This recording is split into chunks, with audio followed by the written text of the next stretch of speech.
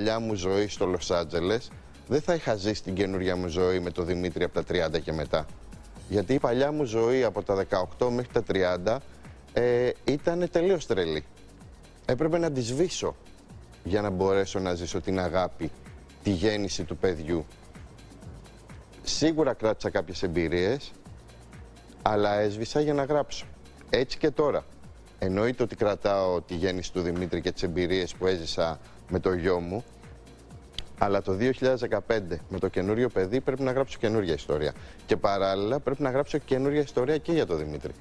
Γιατί μπαίνει στην εφηβεία. Α, έτσι την τοποθετείς την Ε, καινούργια βέβαια. ιστορία. Έτσι είναι η καινούργια ιστορία.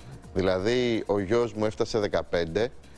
Ε, δεν είναι το μωρό που εγώ πάντα θεωρούσα ότι μέχρι σήμερα είναι, γιατί και μέχρι πριν από ένα χρόνο τον αγκάλιαζα, προσπαθούσα τουλάχιστον, γιατί αυτός δεν ήθελε, τον φύλαγα πάρα πολύ, αγόρι μου, του φερόμουν, λες και είναι μωρό. Δεν είναι, είναι έφηβος. Πρέπει να γράψω την καινούργια του ιστορία. Καταλαβες. Μ' αρέσει. Ναι, έτσι είναι, έτσι είναι. Και Πρώτη φορά συζητάω με έναν άνθρωπο που μου λέει σβήνω και χαράσω καινούργια ιστορία. πρέπει όμως, γιατί ξέρεις Μου τι- έκανες ένα κλικ και για μένα. Ξέρεις τι, μέσα από αυτό ανανεωνόμαστε και εμείς. Πάρα πολλές φορές ζούμε τη ζωή μας με το παρελθόν. Είναι λάθος. Γιατί είναι κάποια πράγματα που γίνονται στη ζωή μας τα οποία είναι ορόσημα.